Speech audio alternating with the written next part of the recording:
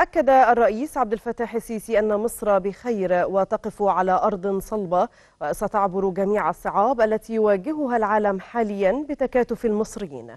وشدد الرئيس السيسي في كلمته خلال حفل تخريج دفعات جديدة من الكليات العسكرية أن الدول تعبر أزماتها بالأمن والاستقرار وجهود الحفاظ على الوطن مشيرا إلى أن الدولة لا تواجه تحديات كبيرة كبلاد أخرى. مش هطيل عليكم لكن آه، خليني الأول إن أنا أوجه كل التحية وكل الاحترام للأسر اللي موجودة موجودة معانا النهارده لحضور حفل تخرج أبنائهم من الكليات المختلفة. برحب بيكم أهلا وسهلا وألف مبروك ألف مبروك. وأيضا أوجه التحية والتهنئة لأبنائنا الخريجين من الضباط وأتمنى لهم كل التوفيق. أتمنى لهم كل التوفيق في حياتهم. يعني لسه أول خطوة النهارده في حياة آه، الضابط ال- المتخرج وده الحقيقة بيمثل آه، خطوة مهمة قوي وخطوة رائعة وعظيمة في حياتك. حياة كل اللي اتخرجوا إن شاء الله. سواء كانوا من الكليات العسكرية أو حتى من الكليات المدنية. وخليني أقول لكم والكلام ده لينا كلنا. في الدنيا اللي إحنا موجودين فيها الأمور دايما بتبقى متغيرة.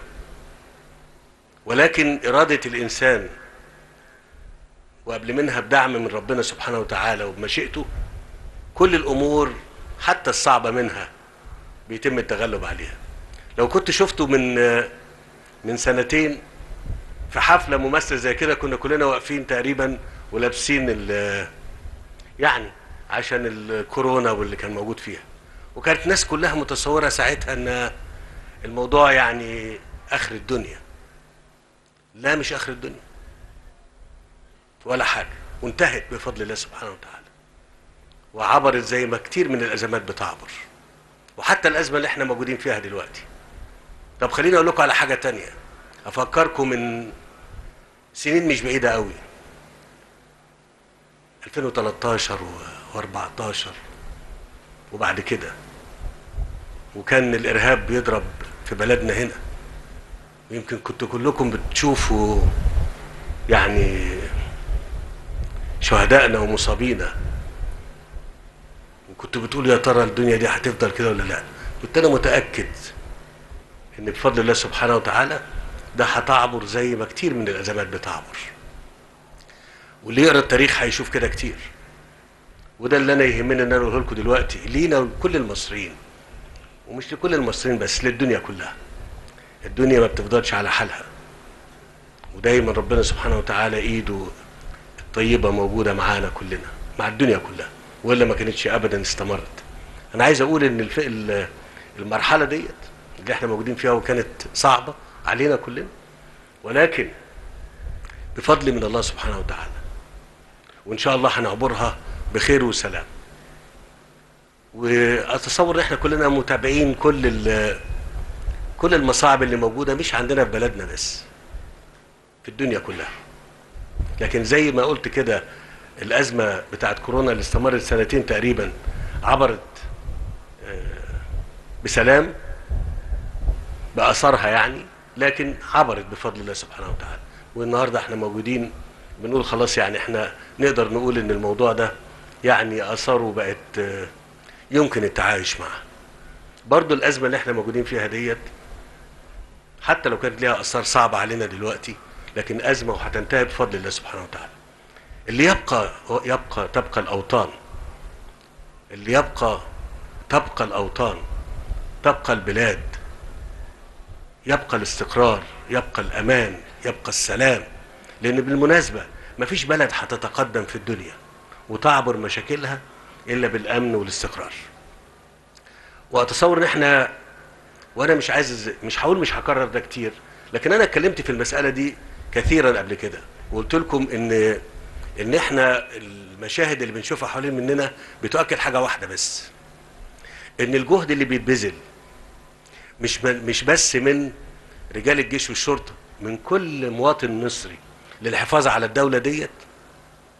الجهد ده جهد مشكور جدا جدا وهو اللي بيخلي ال 104 وأكتر اللي موجودين على أرض مصر عايشين وفي أمل في بكرة. كل المصاعب اللي موجودة بفضل الله سبحانه وتعالى هنعبرها وإحنا في خير وبخير واقدر أقول إن إحنا يعني واقفين برضو آه على أرض صلبة. ما عندناش آه تحديات كبيرة قوي زي بلاد أخرى. ليه؟ عشان بس الأمن والاستقرار اللي موجود في مصر. نقدر من خلاله نعمل أي حاجة. مش هنسى أقول للظباط الجدد المتخرجين وأنا قلت الكلمة دي يمكن في في من يومين لوزارة الداخلية أثناء أو في كلية اكاديميه الشرطة لما بقول لهم خلي بالكم أنتوا دوركم كبير قوي قوي. ولو شفتوا التضحيات اللي اتقدمت خلال مش بس السبع ثمان سنين اللي فاتت ما إحنا كنا النهارده بنحتفل أو بن بنقول أسماء قادة عظام كانوا موجودين وفي شهداء لينا ومصابين كانوا في أكتوبر. إحنا بنحتفل كل سنة بالذكرى والانتصار ده. اللي أنا عايز أقوله برضو حتى في حربنا ضد الإرهاب كان في شهداء ومصابين. دايما حريصين إن إحنا نذكرهم ونأكد إن إحنا مش مش بس الدولة مش أنا مش مش الحكومة. لا كل إنسان مصري يفتكر كويس قوي كل إنسان مصري يفتكر كويس قوي إن في أسرة قدمت ابنها. الابن ده بقى شهيد بعد ما ربته شاب جميل وقد الدنيا كده وبعدين قدمته لبلدنا هنا وقدم روحه لها عشان إحنا نعيش بالشكل اللي إحنا فيه أنا بقول كده للظباط الجدد لأن ده دور هو ده دور الجيش دور الجيش إن هو يحمي ويصوم ويضحي عشان تبقى البلد دي دايما ثابتة مستقرة آمنة سالمة إن شاء الله مش عايز أطيل عليكم ربنا يوفقكم. وبقول للأهالي وبقول لكم افرحوا ألف مبروك. ربنا يوفقكم. وبدأت المسؤولية عليكم تزيد. إن شاء الله أنتوا قدها بالتعليم اللي أنتوا اتعلمتوه بالتأهيل اللي أنتوا تأهلتوه. إن شاء الله هيبقى خطوة للأمام. ربنا يا رب يوفقكم فيها ويحفظكم ويحفظ مصر في أمن وسلام إن شاء الله. ألف مبروك. ألف مبروك. شكرا. شكرا جزيلا.